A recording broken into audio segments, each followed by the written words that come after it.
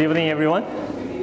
Thank you for attending uh, this lecture. Just, I'm really uh, just glad to meet you and to talk about a very important issue, very uh, pressing and contemporary issue uh, right now. So uh, sometimes I have opportunities to give this kind of lecture in Washington, D.C. Uh, and like Hawaii to U.S. federal agency workers. So we uh, discussed this issue um, uh, thoroughly and how we can address these kind of problems. Uh, as you know, this is really tough issue, right? So today, um, for one hour, probably approximately, uh, for one hour, just I'm gonna give you uh, some information and background information and just why North Korea has been uh, developing nuclear weapons and long-range missiles. And just uh, uh, based upon that information, based upon that knowledge, how we can address and approach this issue, uh, just how we can resolve uh, this uh, very tough issue in a kind of peaceful manner uh, without facing another, the second Korean War, which can devastate Korean people as well as the Chinese and even American and Japanese. So um, the first of all, the, let me uh, give you these kind of questions before uh, the delivering the, uh, the lecture, just to think about uh, these questions. So what has it been so difficult to resolve the North Korean nuclear issue? In your opinion, what is main cause or main causes of the current uh, diplomatic stalemate? Um, I think those two questions are like a primary one. So before I deliver uh, my lecture, just any thought about uh, this issue? Anyone? Yeah. I think China really wants the buffer. Yeah, okay. So you think that China is the impediment uh, to the resolution of that issue, okay? Right, China is a really important factor. I don't think that North Korea will give up its nuclear arsenal because it's existential problem. Mm -hmm. Okay, so North Korea would not give up its nuclear capabilities because it is closely tied to its regime survival. Okay. And I think we only know one side of the story, our side. So hopefully you'll present the other side. Okay. So that we get a full picture. Yeah, right. The, in many cases, American people, like, including all of us, uh, tend to focus on our own perspective rather than listening to their opinions and perspective. So hopefully today, just I can give you some sense of North Korean perspective. In that context, I really think Kim Jong-un feels threatened and feels that he's surrounded by hostile forces, as Japan on one side, China, and us. Wow. Yeah, wow. Thank you for raising that issue. So actually, in, in my lecture, I'm going to address that topic in a little more uh, thorough manner. But in many cases, just whenever I talk with other American people, they tend to think that uh, North Korean people, North Korean leaders, they don't have any the feeling of threat from the US forces stationed on the Korean Peninsula or like the South Korean forces. But in your case, I think it's very uh, different views. Thank you for raising that. One more opinion. How could they not feel threatened when John Bolton is talking about a Libya-style agreement, and we all know what happened there? Wow. That's great. That's great. Yeah. Very promising. okay, so uh, first of all, let me just talk about the reasons behind the North Korea's nuclear development. I, I made this figure, pretty simple uh, kind of chart, but the, as we believe or as we think, the North Korean top leaders, uh, for the first time, I think Kim Il-sung, right, from the 1948 to 1994, the Kim Il-sung ruled uh, North Korea. So Kim Il-sung had a strong will to develop nuclear weapons uh, based upon like archival research uh, done by the, a lot of scholars. So we can figure out that. And then who's the next leader in North Korea after Kim Jong-il, uh, Kim Il-sung? Kim Jong-il. So Kim Jong-il ruled North Korea from 1994 to 2011, December 2011 when he died, right? So Kim Jong-il also, right, that had a strong kind of desire and aspirations to develop nuclear weapons. Right now, current leader, Kim Jong Un, right? Starting uh, 2012, the Kim Jong Un the established uh, its kind of policy goal. We can call it so-called Byungjin line. Have you ever heard like a Byungjin? That's a Korean word, Byungjin line, which means that simultaneous pursuit of nuclear development and economic development. So to Kim Jong Un, the Byungjin line, nuclear development was the, uh, one of the key policy goals, right? So the, as you look at the, this chart, the top leaders' strong will to develop nukes for regime survival. That was the core kind of things, right? And then uh, we can look at the internal factors. Why North Korean leaders? Why North Korean regime? North Korean government? uh, has been uh, making every effort to develop nuclear weapons. As you see, unstable domestic condition. Later on, I'm going to give you a little more detailed information, but especially uh, because of uh, the economic crisis, crisis right? It's, the, it's in 1990s, as we remember, uh, one, two, three millions of North Korean people, they starved to death because of economic crisis. I think uh, the end of Cold War, uh, which took place in 1991, that devastated, that had very fatal, uh, fatal impact on North Korean economy, right? Soviet Union was gone, uh, China betrayed North Korea, and a lot of Eastern European nations, they collapsed. So North Korea was uh, isolated from the international community economically, so plummeted. So the uh, unstable domestic condition, economic crisis, and then leadership transition, as I mentioned, in 1994, 2011, right? So the top leader, Kim Il-sung and Kim Jong-il, they died. So that was a very critical moment in North Korean political condition, and uh, there was a kind of uh, just a, the internal, like a direct factor, uh, cause, causing North Korean leaders to develop nuclear weapons. Later on, I'm going to give you some more details. And then weak conventional forces, I think because of the weak and very uh, just the devastated North Korean economy, right? So it was really difficult for North Korea to compete with South Korea in terms of military forces. So in terms of like a conventional military forces, North Korea could not invest their resources in developing and renovating their tanks and uh, so aircraft, and just artilleries and all those kind of stuff. So it was really reasonable for North Korean leaders to develop nuclear weapons. So there was a kind of asymmetric the military forces uh, North Korean leaders wanted to create. Also, direct external factors, as uh, uh, somebody already mentioned, right? Why North Korean leaders? They really wanted to develop nuclear weapons because of America's uh, military threat. As you know, I mean, later on I'm gonna talk about that. Around the 1960s, 1967, how many American nuclear, tactical nuclear weapons were deployed on the South Korean soil. Can you guess? 900, more than 900 American nuclear, tactical nuclear weapons were stationed on the uh, South Korean soil. What about like a, uh, at the end stage of uh, Korean War? At the time, the general MacArthur, right? He strongly considered the use of nuclear weapons to wipe out North Korea, even to wipe out Chinese kind of soldiers, uh, just to, who helped North Korea at that point, right?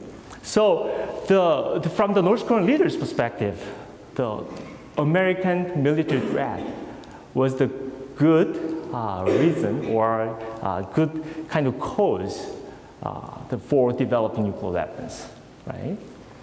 And then just the indirect external, I mean, unreliable patrons.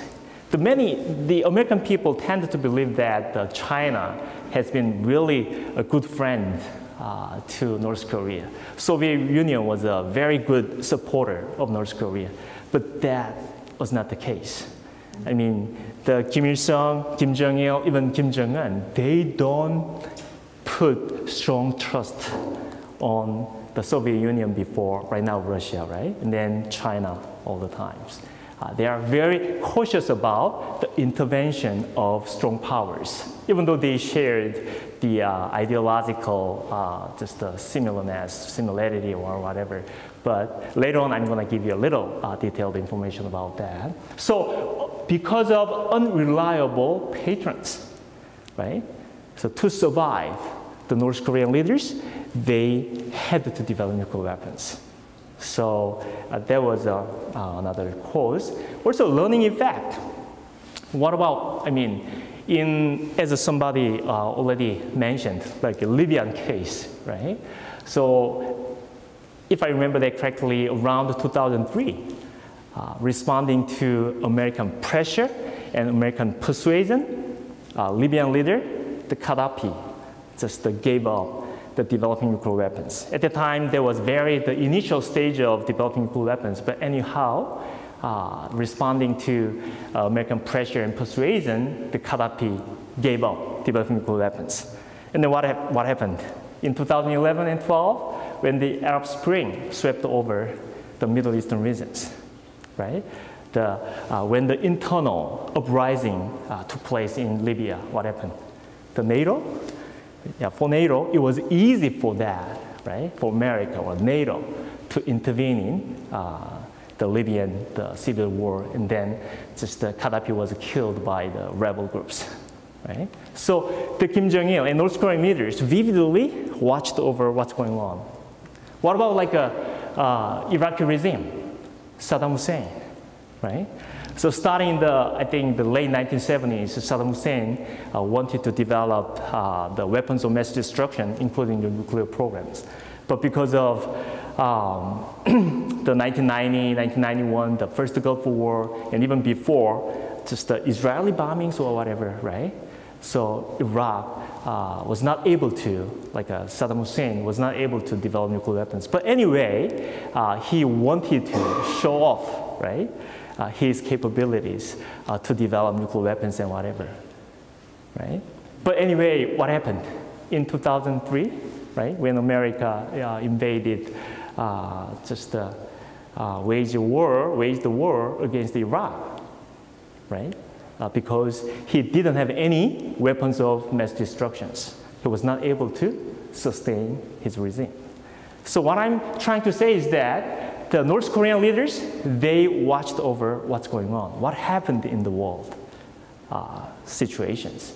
So there was a learning effect. Even just moving towards like Ukraine issues, right? Uh, the, during the Cold War period, Ukraine had a huge number of nuclear stockpiles as a part of the Soviet Union, right? But uh, after the end of uh, the Cold War, uh, just uh, uh, responding to the Russian kind of persuasion or American support, Ukraine voluntarily ceded their uh, nuclear weapons to Russia. right? So in 2014, what happened? so Putin's Russia, it was easy for Russia to take over Crimean Peninsula because Ukraine didn't have any weapons of mass destruction, including nuclear weapons. So all those like international cases, right? International cases uh, just helped the North Korean leaders continue to develop nuclear weapons. They had clear lessons. If they give up nuclear capabilities, what happened? When something internal uprisings or internal instability takes place in North Korea, what happened? Right, just the uh, Western forces. They can easily invade North Korea. So all those factors, okay? So I already uh, gave you just a uh, brief information, but just let me give you a little detailed information. U.S. military threat, right? The, as I said, in 1967, about 950 were had, right? Uh, so also even after the 1991, when America withdrew all nuclear weapons uh, from the South Korea, like at the time, first Bush administration withdrew all nuclear weapons from South Korea. But still, since the time on, what happened? The America has provided so-called extended nuclear deterrence, which means that when something happens on Korean Peninsula, America will support South Korea with the use of nuclear weapons. So still, the nuclear threat was there. Especially in 2002, 2003, at the time, just the Bush administration, after the uh, September 11th terrorist attack, the Bush administration adopted so-called preemptive strikes, strategy of preemptive strikes. So the, in 2002 U.S. nuclear project review, North Korea was included in the list of six states as potential targets for U.S. nuclear weapons, right? So the, when you look at the, the history, historical trajectory uh, in U.S.-North Korea relations, before the Bush administration, the second Bush administration, the U.S.-North Korean the relationship was pretty cordial under the leadership of President Clinton.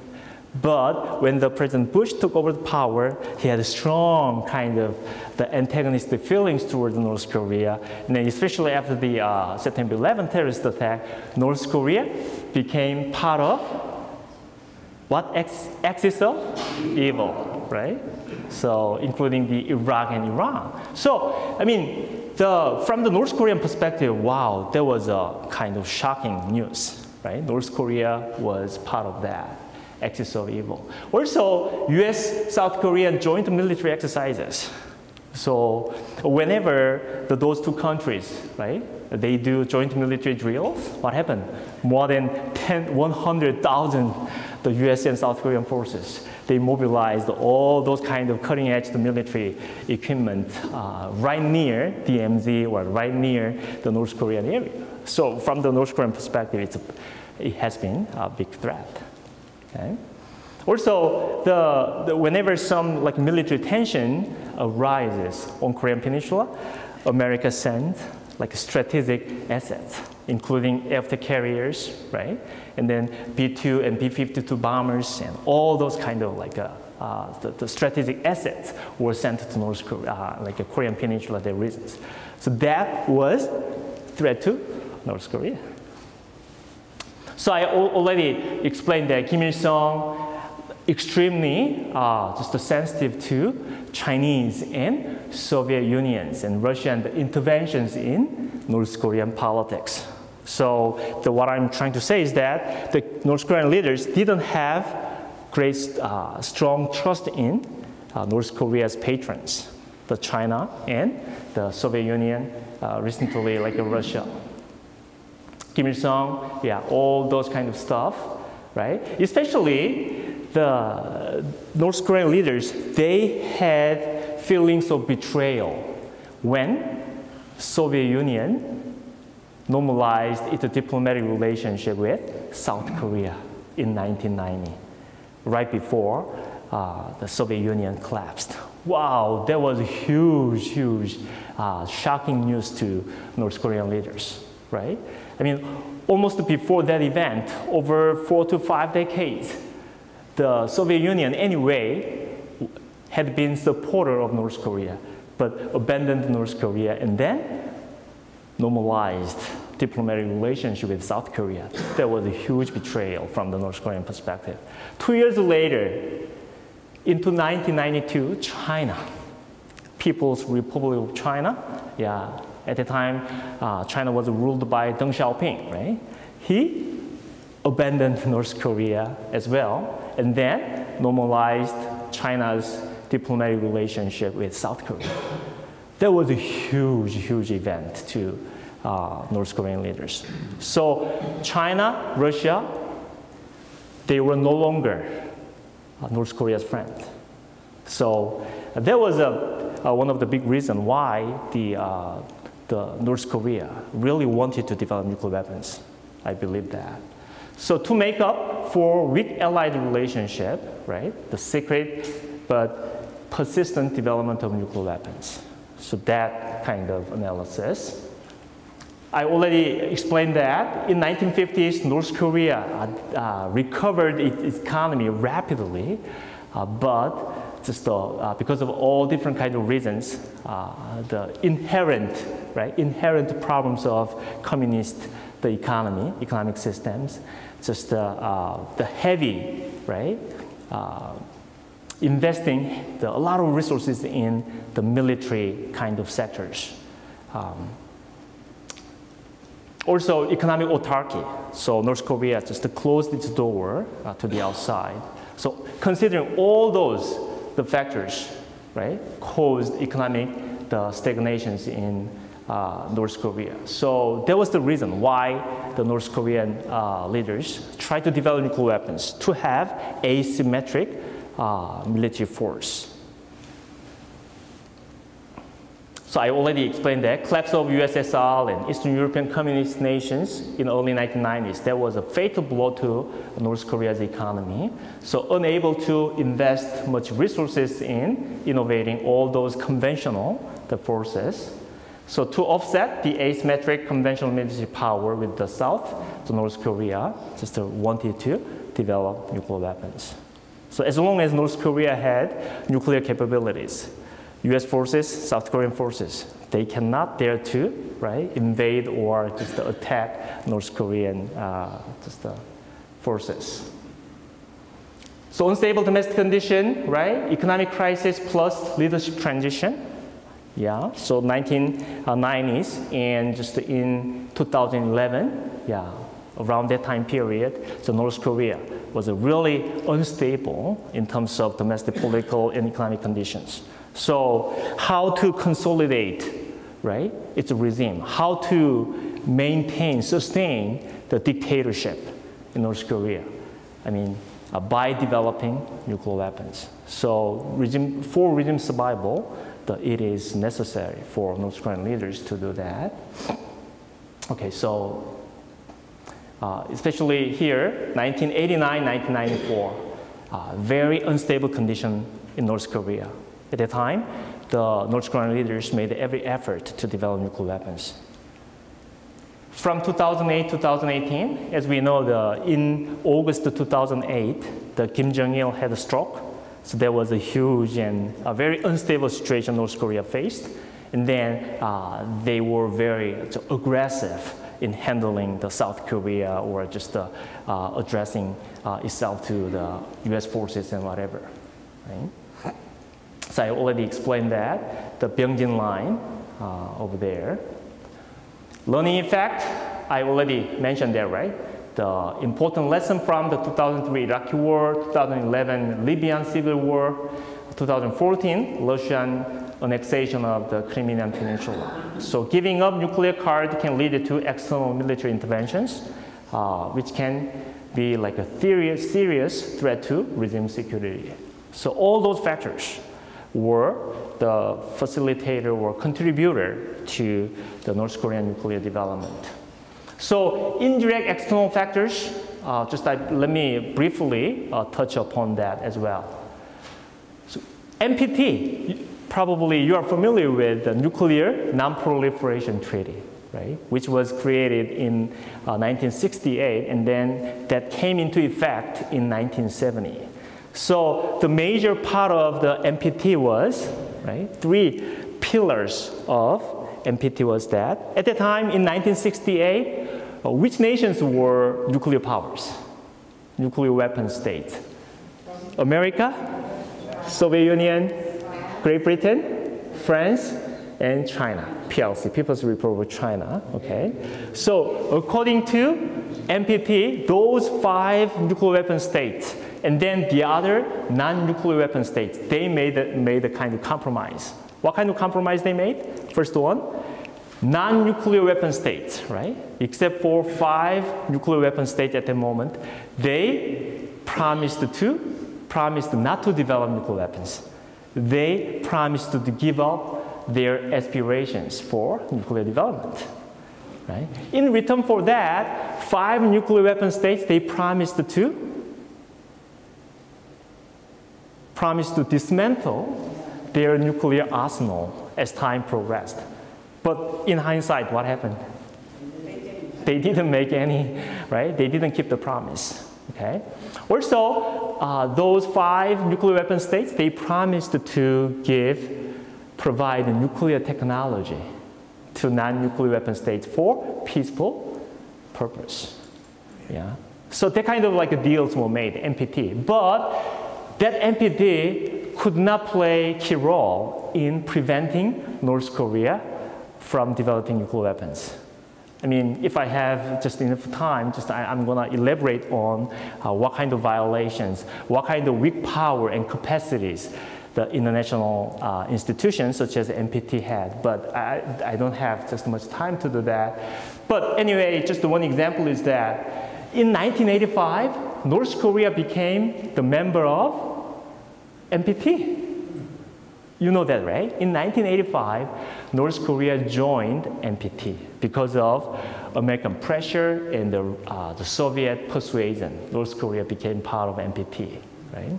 But uh, one important point is that within 18 months after, after the new nation, one nation became the member of NPT, they are required to make what? So-called comprehensive safeguard agreement with IAEA, International Atomic Energy Agencies, right? If they make that so-called CSA, the North Korea had to receive like inspectors from IAEA inspectors uh, into the North Korean the uh, nuclear facilities, and they have to put the cameras on that. All those kind of uh, investigation uh, should take place. But in North Korean case, in 19, December 1985, right, North Korea became member of NPT, but when the CSA was created, CSA was made in April 1992, almost seven years, not 18 months, right, after North Korea joined NPT. It took almost seven years for North Korea to make that agreement. So over that seven years period, what? North Korea was able to produce certain amount of plutonium. So using that, North Korea was able to make one or two or several nuclear weapons at the moment. So what I'm trying to say is that IAEA and NPT and all those kind of stuff didn't have real capacities and power to punish North Korea, right? Who uh, that violated uh, that kind of agreement and all those kind of stuff. So NPT, right? Also, North Korea withdrew from the NPT, right? But just international organizations, international community didn't have any power to punish North Korea at the moment. So that was the weakness, uh, inherent weakness of international institutions. Transfers of nuclear technology and materials, uh, especially in the late 1980s, 1990s, uh, North Korea was able to get nuclear technology. Actually, the HEU-based nuclear technology, which means the highly enriched uranium-based nuclear development. Which nation supported that? Which nation helped North Korea to develop that? Pakistan, right? Pakistan. In return for that, North Korea provided Pakistan with what? Missile technology missile, missile technology. I think as we know, the India and Pakistan, they were arch enemies, right? Uh, so India was developing like nuclear weapons at the time. Also, India had uh, strong missile capabilities. So Pakistan really needed missile technologies. So by providing nuclear technology to North Korea, Pakistan was able to get North Korea missile technologies that kind of missile, right, uh, for nuclear trade took place in late 1990s and early 2000s. But in international organization, in international institution, NPT, all those things had little power to stop that. Also, the freedom to underground, conduct underground nuclear tests. North Korea, right, just conducted six nuclear tests, underground nuclear tests so far. Right? So according to International Organization, CTBT, some of you are familiar with that, the Comprehensive Test Ban Treaty, CTBT, that's a pretty strong kind of international treaty, right? If the certain states became the members of CTBT, right? Uh, signatories of CTBT, they are not allowed to do underground nuclear test. But the inherent weakness of that international institution is that North Korea didn't sign that treaty. So North Korea is not under, right, uh, just the restrictions that CTBT can provide, can impose. Even just America and China didn't sign that treaty, right? So the, what I'm trying to say is that the lack of, the weakness of international institutions. Okay, so let's go move on.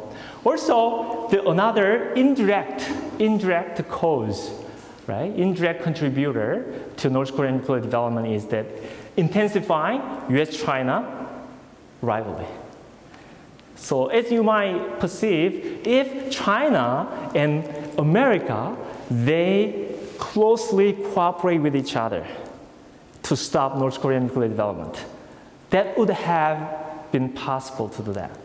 But in this case, it was not almost impossible. Yeah, it was really difficult for China and the United States to closely cooperate with each other in stopping North Korean nuclear weapons because their interests are sharply divergent. There means Chinese interest, right, and American interest. They were sharply uh, just divided. So because of that, North Korea, from the North Korean perspective, they had more room, right? They had more room to maneuver.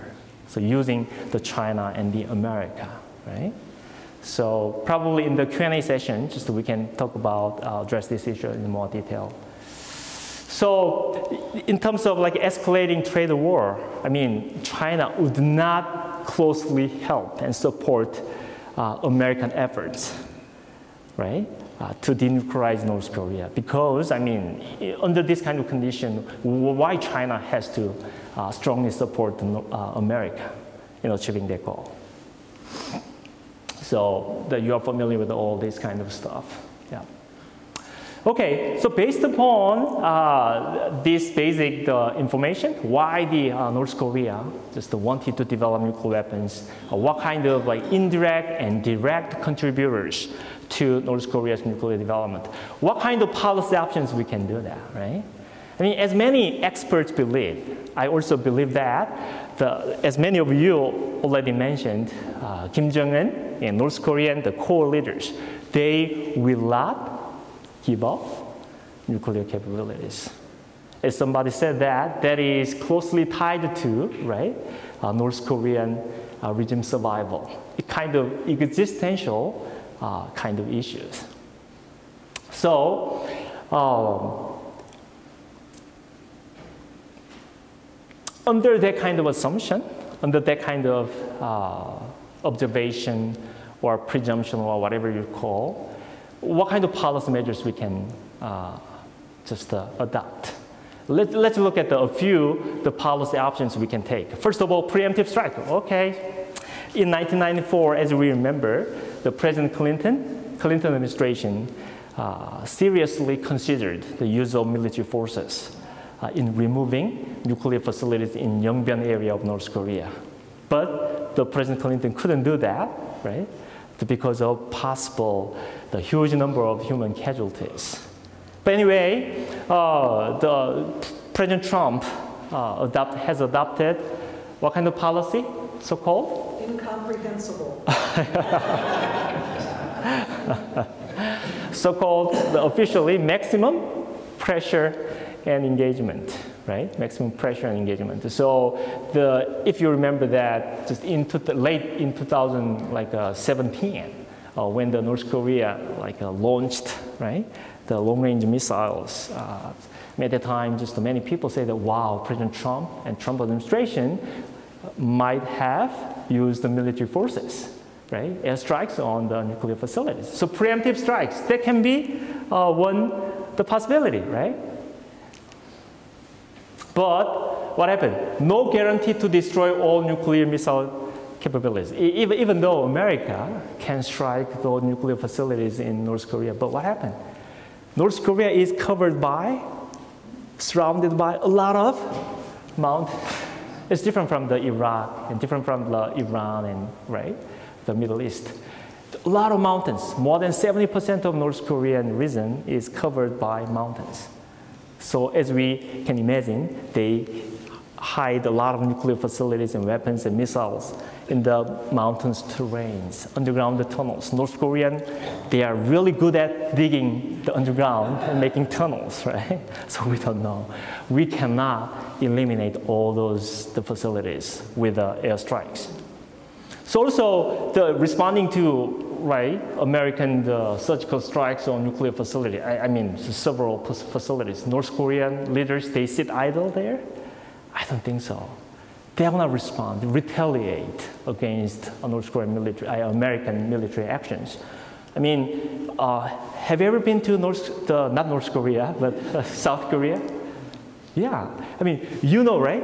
The, how, right, the populated, uh, just is the Seoul area and Gyeonggi province area, about 25 million people. The half of South Korean population reside in the Seoul, Gyeonggi province area. It's very close to DMZ area. When something, the military uh, action takes place, they can easily escalate it into all-out war. So preemptive strikes, always that has the risk of having all-out war, which can include nuclear weapons, chemical weapons, and artilleries and everything, missiles, terrible consequences. Also, I think the uh, concerns of Chinese and Russian reactions. If you remember Korean War, right? Do you remember, can you imagine that in 19 in November October 1950 when the Chinese uh, the the leader the Mo right uh, the Mao sent dispatched uh, Chinese so-called voluntary corps to North Korea. At the time, the China was in what kind of condition? I mean, from the uh, 1945 to 1948, right? China suffered from civil war. So 19, I, I think 1949. So 1949, October 1949, just the PRC, People's Republic of China was officially created. Just two years later, right? China at the time, compared to American military capabilities, China was so minor, kind of military capability it had.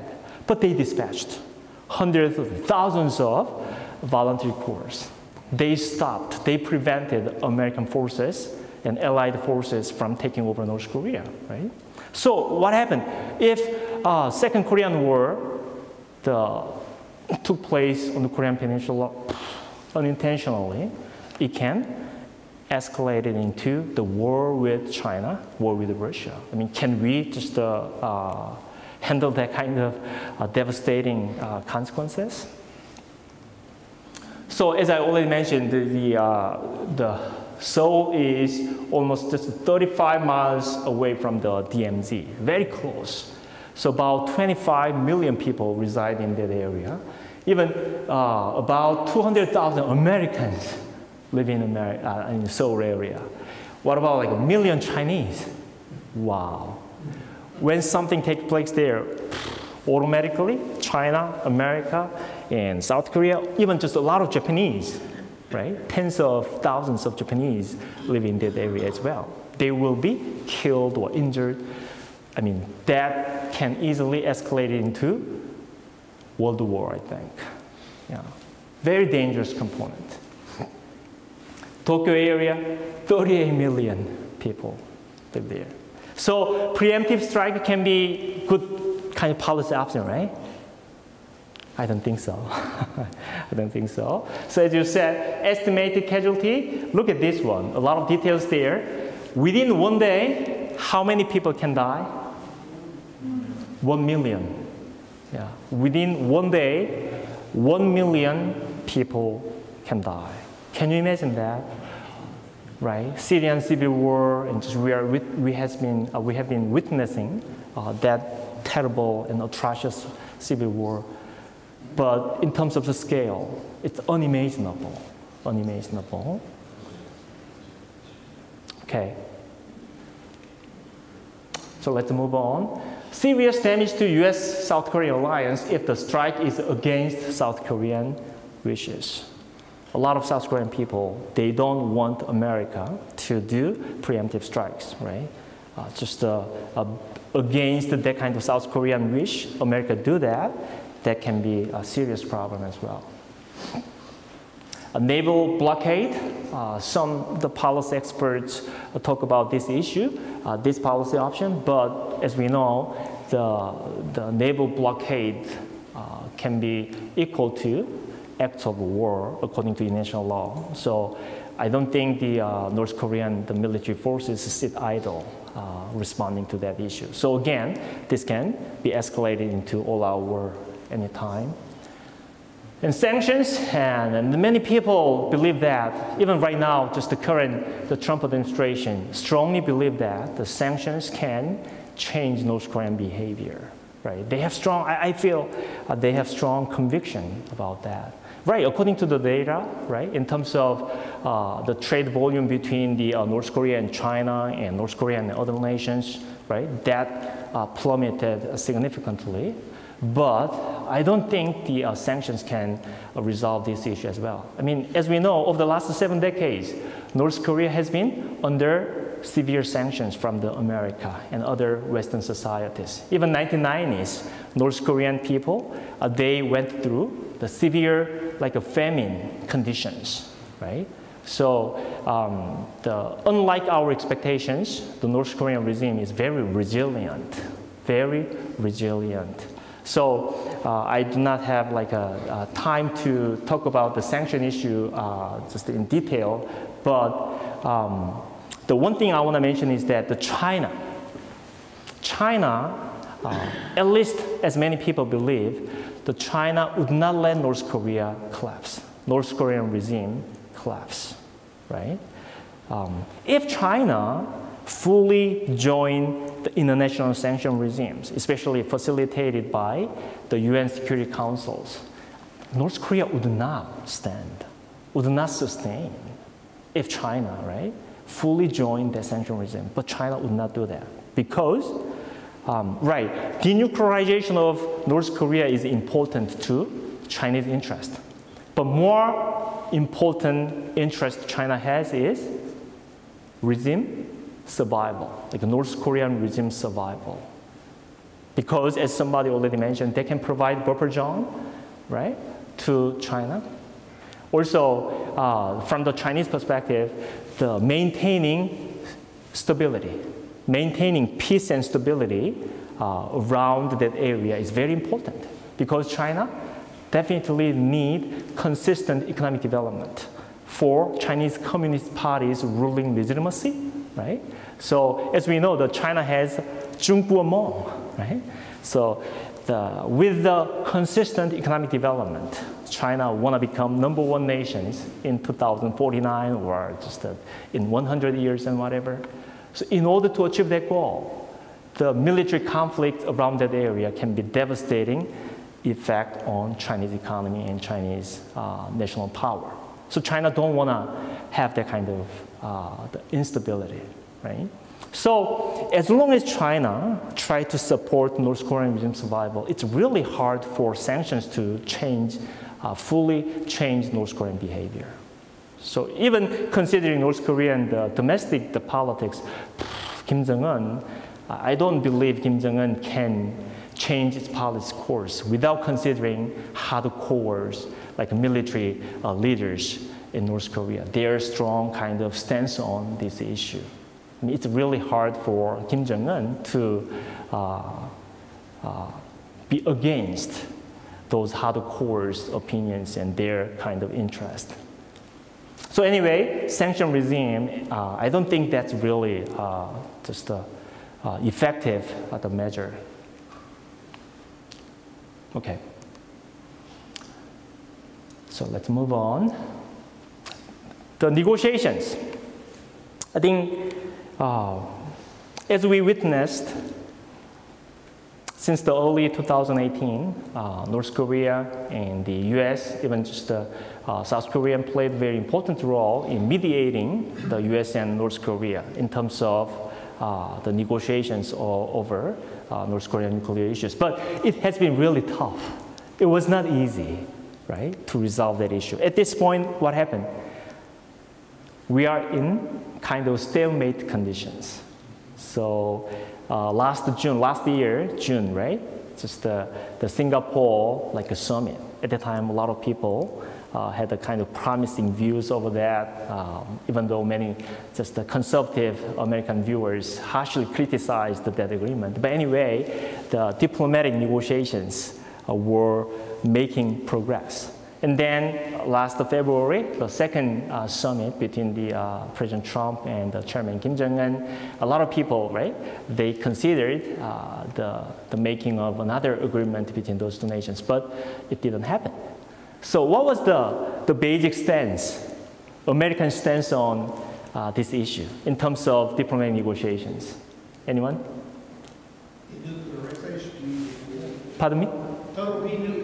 Yeah, so CVID, so-called CVID or FFVD, complete, verifiable, irreversible denuclearization. That's a CVID. FFVD is final, fully verified denuclearization.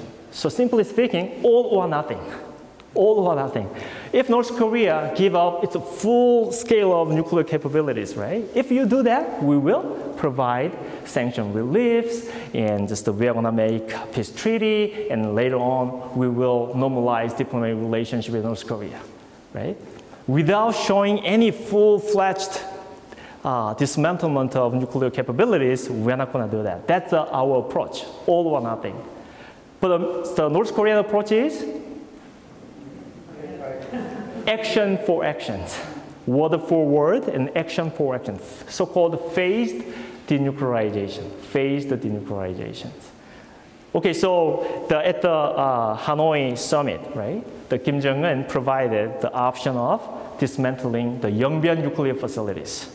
We're gonna give up Yongbyon nuclear facilities, including the HEU, highly enriched uranium-based nuclear development facilities.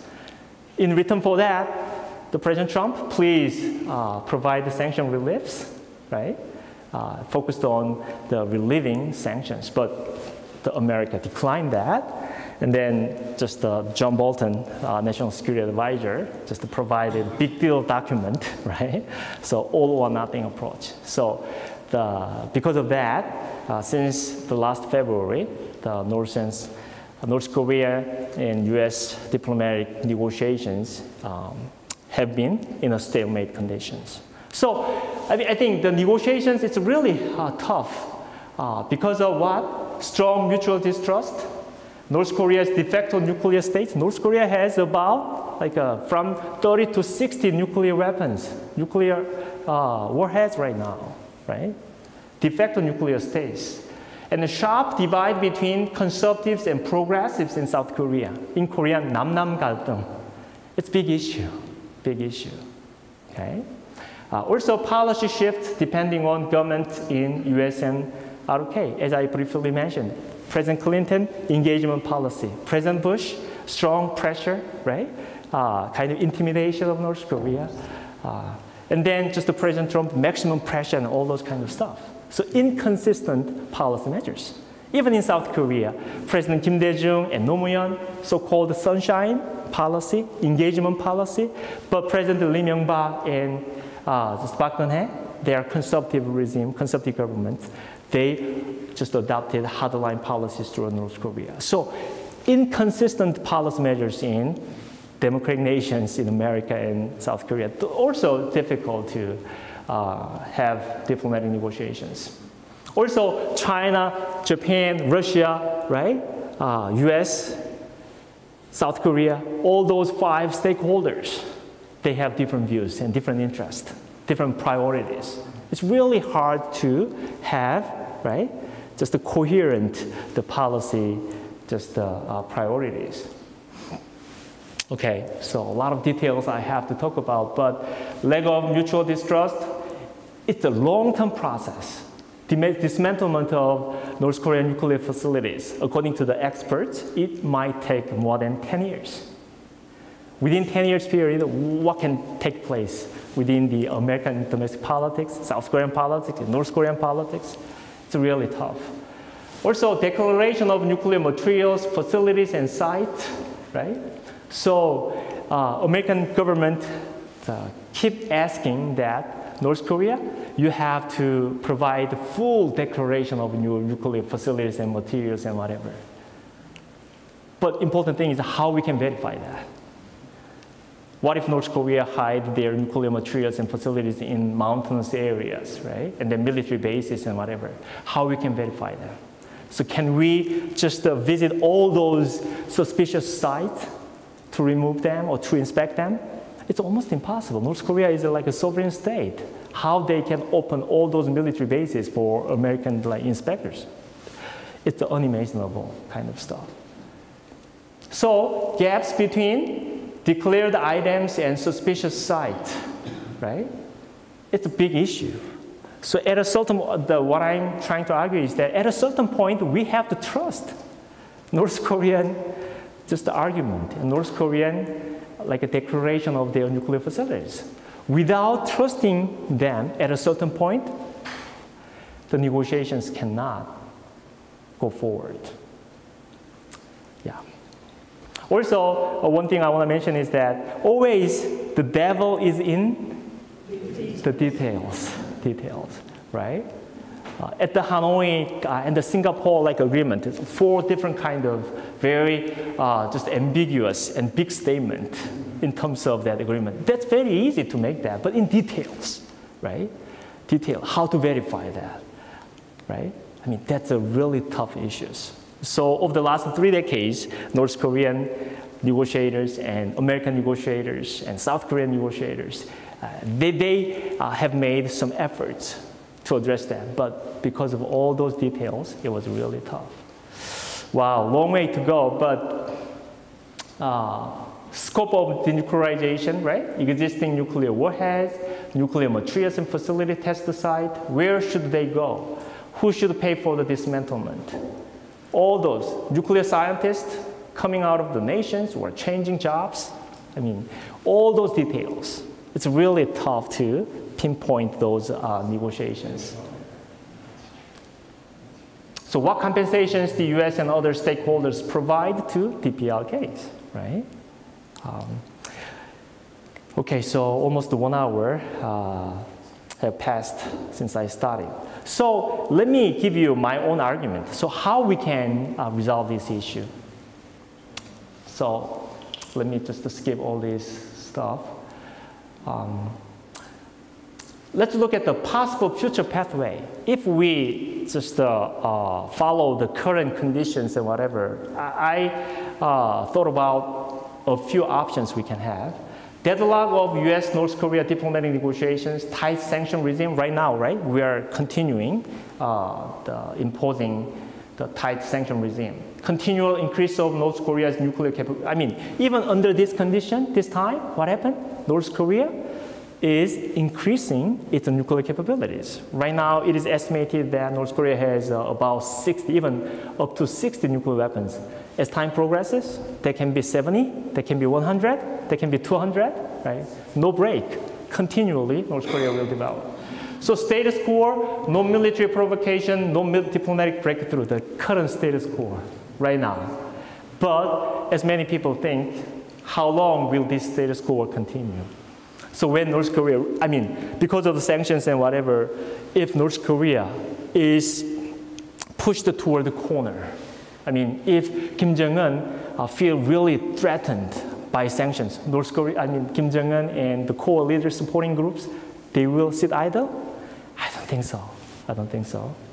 Military uh, provocations can uh, rearise, I think. So the same thing, the first uh, kind of lines, and then possibility is returning to the fire and fury phase at a certain point. There can be possibility, heightened military tensions, and then America can conduct preemptive strikes, right? And North Korea self-control despite anger and humiliation? I don't think so. North Korea's retaliation, which can lead to the all-out war and nuclear war. Third option, same thing, returning to the fire and fury phase, right? What about North Korea regime collapse? I mean, probably the current administration, and then including led by the John Bolton, they closely, right, they strongly uh, support this kind of option. Regime collapse, that's the best option for them, right? The manageable situation, transition to pro-America or pro-China military dictatorship will pop up in North Korea. Or if that is under unimaginable, unimaginable situation, I mean, um, the biggest concern I personally have is that when the Kim Jong-un and his core supporting groups are pushed to the corner, so they feel that, okay, anyway, we're gonna die. Anyway, there's no hope. So, okay, let's kill ourselves. So they're gonna do that? No. Okay, anyway, there is no hope. Anyway, we're gonna die. Let's die together. I'm really concerned about that. I mean, not many like American uh, analysts or commentators and policy experts don't talk about this issue. But I, I, I'm just a Korean American, right? I'm just, I, I came from the South Korea. I became a US citizen, but I have that kind of good feelings. Um, I mean, Kim Jong-un and North Korean core leaders, they would not just uh, sit idle when something terrible happens uh, to their destinies, right? So they want to just fire missiles and nuclear warheads and whatever to the Tokyo and just the Guams and even just Hawaii, even just uh, uh, using the uh, intercontinental missiles like a, like a Washington or whatever. Wow, I, I feel really uh, just that is a dangerous situations. But nobody talk about that. Nobody talk about that in American uh, just the policy community, uh, as long as I know.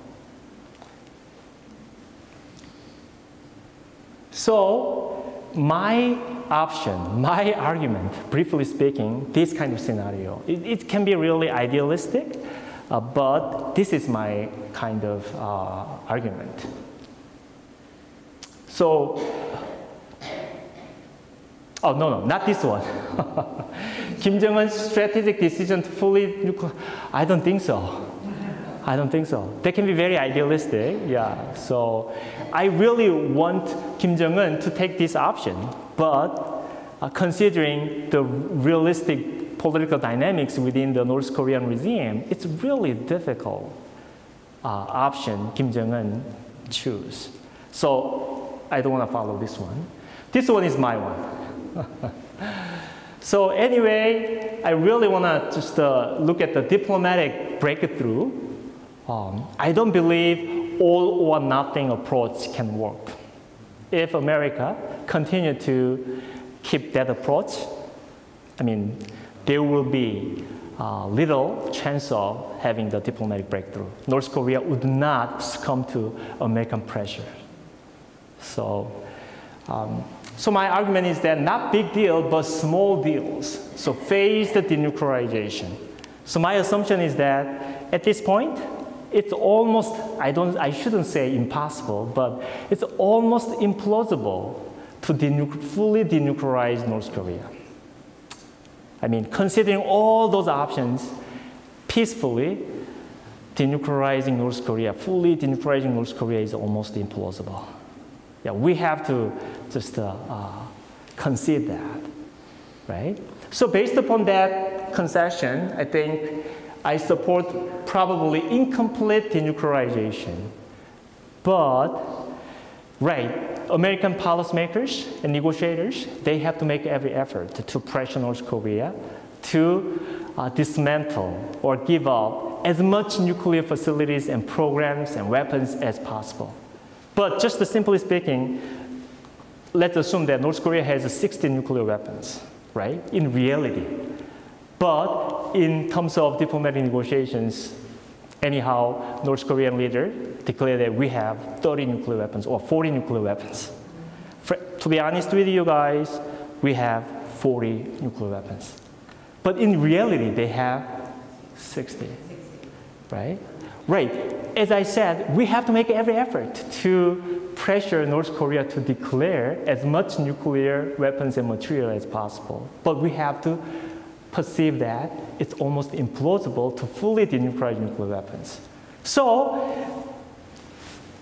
I mean, in terms of diplomatic negotiations or based upon really just uh, uh, the tug of battles, uh, in negotiations. Anyhow, North Korea declared that, okay, we have 40 nuclear weapons, we are going to fully uh, denuclearize our nations, something like that, simply speaking. And then at a certain point, we have to trust that. Okay, so you guys is going to dismantle 40 nuclear warheads. Let's do that. Okay, and then in return for that, just we are to provide the sanction reliefs and end of war dec uh, declaration. Korean War ended officially, something like that. And then peace treaty on Korean Peninsula. And then eventually, US North Korean diplomatic normalizations. Let's go follow, let's follow that kind of directions. So eventually what happened? For North Korea, even though they have like a 20 secret nuclear weapons, right, hidden in mountains terrains, at that point, those nuclear weapons are useless. The key functioning, key functions of nuclear weapons is deterrence. But they fully declare that they don't have nuclear weapons anymore, right? And then, also, uh, when they open their economy or they just uh, uh, have a trade relationship with other the Western societies and whatever, right? Uh, following the Deng Xiaoping's uh, pathways or the Vietnamese economic reform and opening measures. At that time, I feel the secret nuclear weapons and programs can be the liability for North Korea. Probably they would just uh dismantle uh, those secret nuclear weapons uh, secretly or whatever. This, yeah, again, this is idealistic, but as long as we keep the CVID, FFVD, that approach, or nothing approach, this issue will not be resolved peacefully. So at a certain point, we have to take a risk of having nuclear war with North Korea. So which means that we can be hit by North Korean nuclear weapons. If that is the case, North Korea will be wiped out, definitely. But we have to take a risk of that. I mean, nobody talked about this kind of option. But lastly, I'm going to talk about that. When you think about regime collapse, many people, like a conservative and hawkish, the policymakers in America, uh, love to talk about North Korean regime collapse. But I mean, I feel that's really dangerous option Again, suicidal attack from the Kim Jong-un and anti-Kim forces, whatever, that can be uh, leading to devastating and very destructive consequences in, on the Korean Peninsula. Handling weapons of mass destruction, refugee crisis, right? China-North Korean border, on 880 miles, the border. It's very porous borders. The millions and millions of North Korea will like uh, flow into the Chinese territory. That can be devastating effect on China as well. And then potential Chinese interventions, unintended conflict between the China and the United States. So what I'm trying to say is that, that we need to be cautious about talking about the regime collapse options. Okay, North Korean regime collapse, wow, they can be very optimistic and romantic pathways we might we want to have. That might be the case, okay, but in many cases, they can lead to all-out war um, between um, U.S. and North Korea and all those the regional uh, players. Okay, so let me end uh, my lecture at this point, and then just let's have a, like a, the Q&A session for about 20 minutes, 15 minutes. So any the questions and counter arguments and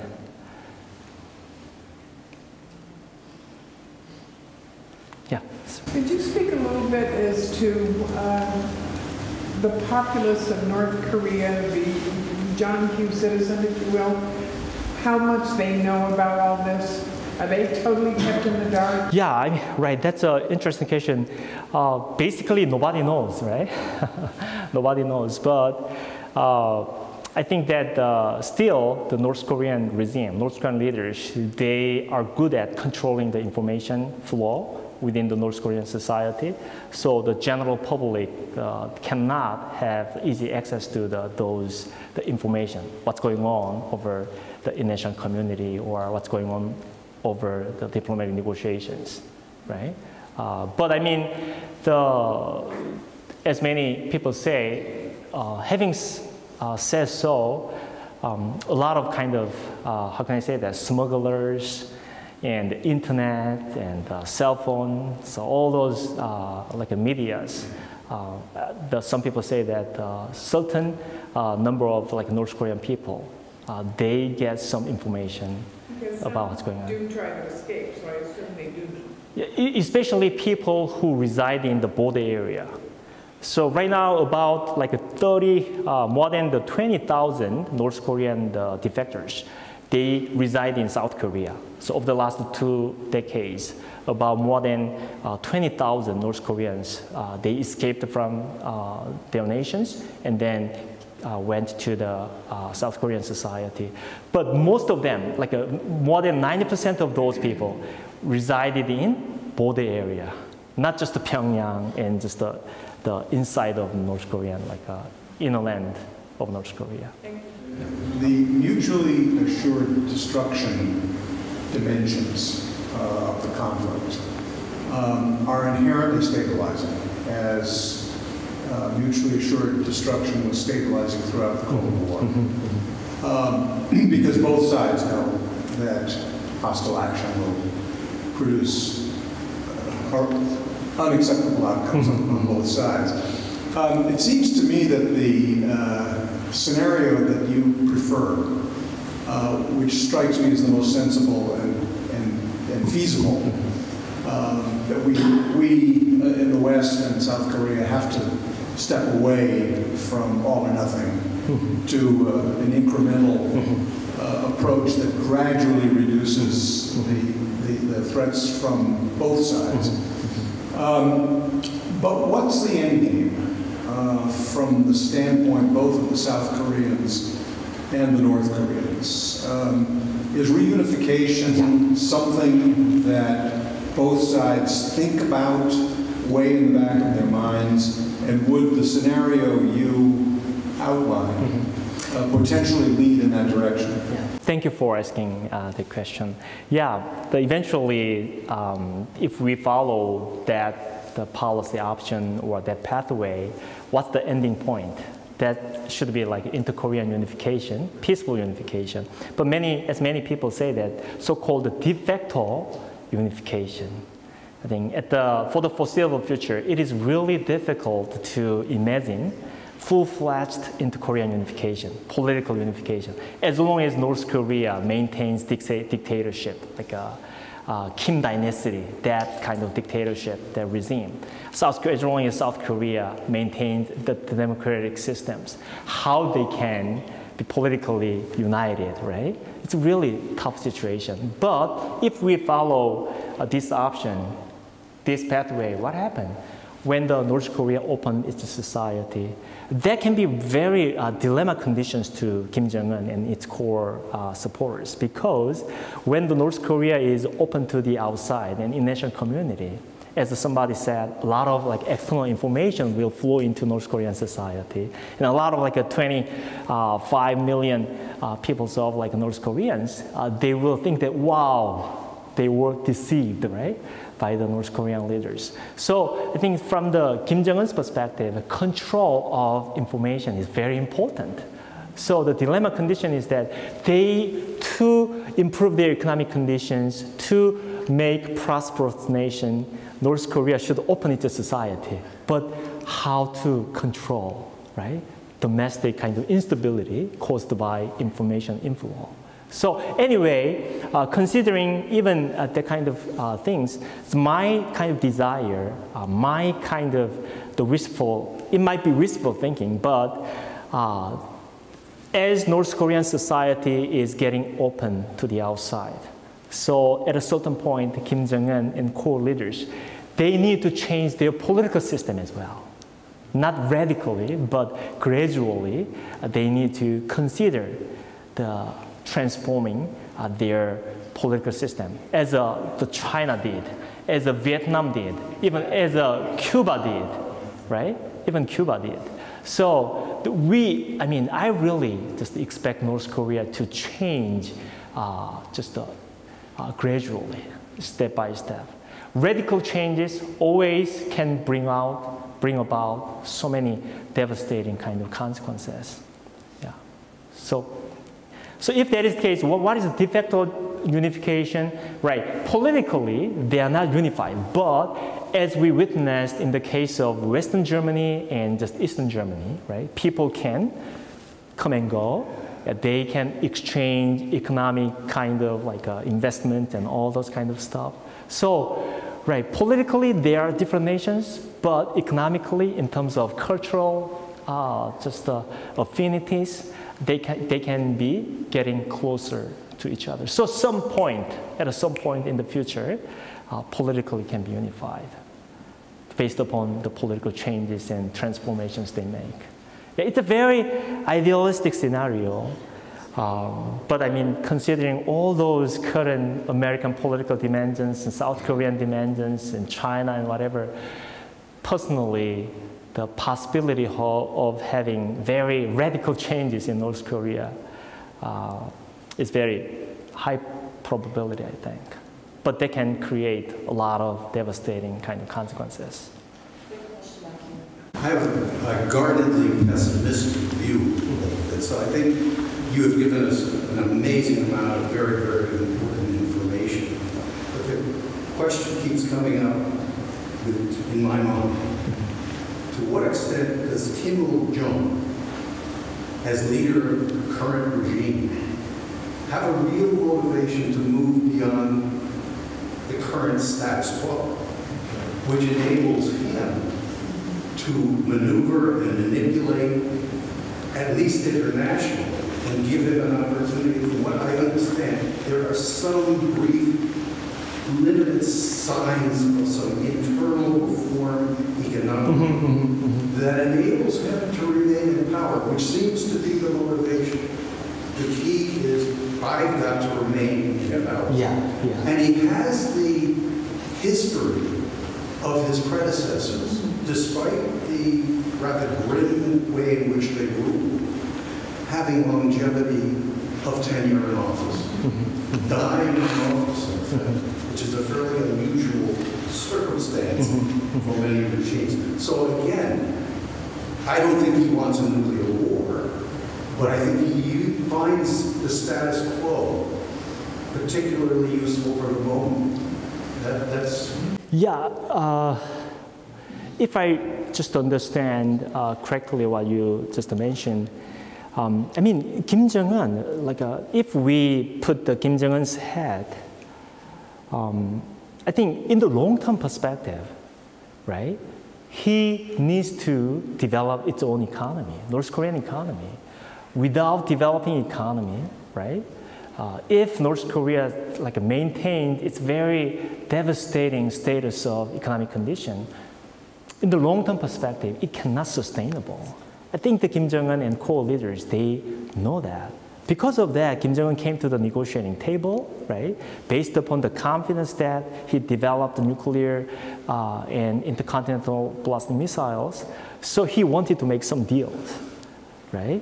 So, uh, as I mentioned, like uh, the Byungjin line, simultaneous pursuit of nuclear and economic development.